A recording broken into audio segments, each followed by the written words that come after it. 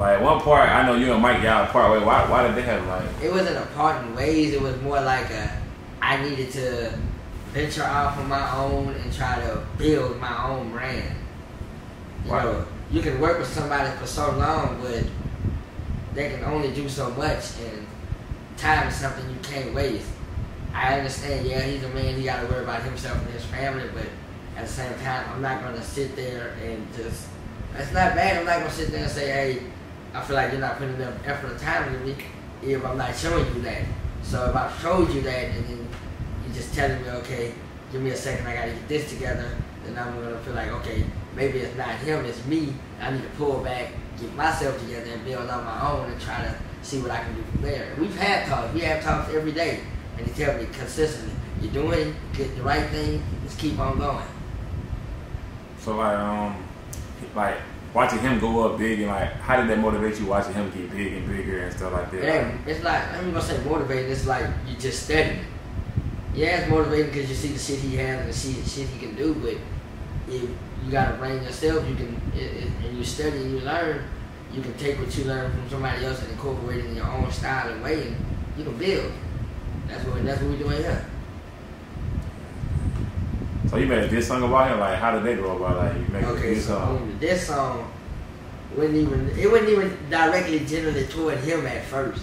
He just jumped in that smoke before, because it was really for Rooney and his room crew because they always talking noise. Please talking that shit. So why, why he got beef with Roku? Um, uh, it started out with a, a fella by the name of Ruku Banks, always talking that hot shit, Mm-hmm. and another one by the name of Ruku Chris. Mm-hmm. So I'm like, you know, I said, you feel like you gonna say something? Let me let me talk my shit real quick. Let me pop my shit. Then I was like, um, I know somebody gonna say something else. So whenever somebody decides to say something, oh, it's on and popping. But I had a few people call my phone like, so what we doing? Well, if you feel like the shoe fits well, but know this, when I hit up the block with the paintballs, I don't want to hear no talking.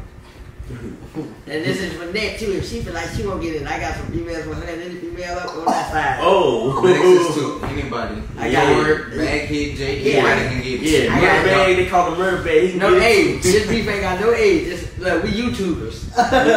Anybody can get it. YouTubers. I'm sitting there Trying getting for real. YouTube fun again, bro. That's the yeah. That's, and that's what you don't see a lot. A lot of times on YouTube, it's like it became a corporate. Too many people trying to make overdo it. You gotta have fun with it. And that's what trying. That's what I'm trying. That's what we trying to do. Get back to having just fun with it. Instead of just in there, hey, we're gonna do this, we're gonna do that. No, we're gonna have fun with it. So like, what's some things that keep you motivated keep you going? Like, Getting up in the morning, just I, yeah, I got. I get up in the morning and I be like, fuck, something gotta change, something gotta shake, so it's time to get up and get it. I have my days when I don't want to do nothing, but then shit, it's something that always make me want to do better. so like, um, you don't plan on having any kids or nothing like that? Like, you ain't I, gonna I try ain't have got no kids? kids. I ain't got no kids. I'm on 25, no kids. I'm team FTK. Fuck them kids. Oh, man. Why you feel like that? It's not. It's not a bad. I'm not saying it's a bad way, but you can't take care of a kid if you can't take care of yourself. You're not financially stable enough at that at a point yet, and why wasting? Because you're just gonna struggle more. That's a big responsibility. And, and then you gotta decide shit. Look what we at. You don't want to choose your baby mama to be a crazy retarded bitch. Or a burning bitch. baby mama, a baby mama drama, then you gotta go whoop her brother ass and put a sweater on you. now you locked up, you can't see your baby because this bitch can come down. What is he talking about? He just saying how them Louisiana, how some of them Louisiana women. And then, like you said, some of the Louisiana women, you been just put it in there, the next thing you be can pull it out and be like hot sauce. God damn, bitch, you been burning. You ever, you ever been burnt before? That shit, no. So My, like, my grease probably was nine, not bitch. hey, like, Man. a bitch burned me, she probably gonna talk to Jesus. Oh. Have your arrangements in order, baby. so like, uh, like how's that? Like, do sometimes you feel like you don't want to be famous no more? Like, like do you get tired of being famous, or so, like sometimes you wish you were famous? Like you walk in the store or something, a mall, or go get, you know what I'm saying? It's a good feeling, and it's uh, it's a good feeling actually, because you got a lot of people who look up to you and actually want to do the same thing you want to do that you're doing. So it's a it's never really a downside. Only downside is if you decide you just want to go out and have fun and you're not feeling like it's not a work day. It's always gonna be a work day because you got fans everywhere you go, somewhere, somewhere. You might not know it. You can pop up in Walmart. Oh, hey, that's Wayne. Next thing you know, you got five people, people trying to take pictures with you. Like, fuck. Like, what was the situation where you went somewhere they they, like, they overcrowded you? Like, just, just What was that? Mall. That mall when we were trying to shop, Oh yeah. yeah. what happened? Like, explain like what It was just me and him. I think it was for what, what it was for. we were trying to, I think, a video. Yeah. Was on the time limit.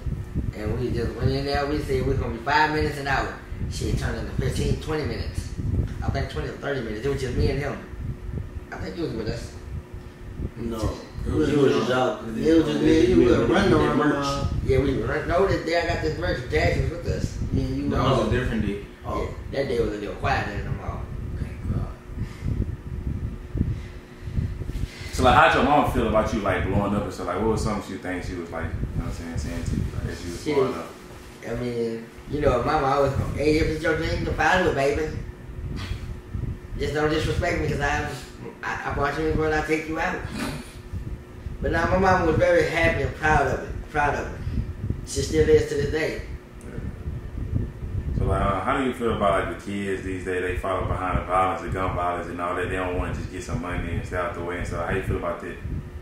I mean, they listen to this music and they whenever they hear rappers for rapping their music, they be like, oh, I guess they do it in real life, so why not? It's, they make it seem cool. They make it seem like they're not getting in trouble for it.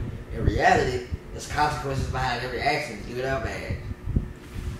The music is a representation of that person, so people just got to be more careful about what they're rapping about.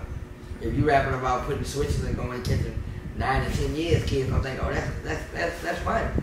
Now you rapping about It's not fun, bro. now you rapping about, oh, we finna have a big water fight. We give it back to the homeless. Oh, they gonna back. That's they gonna eventually.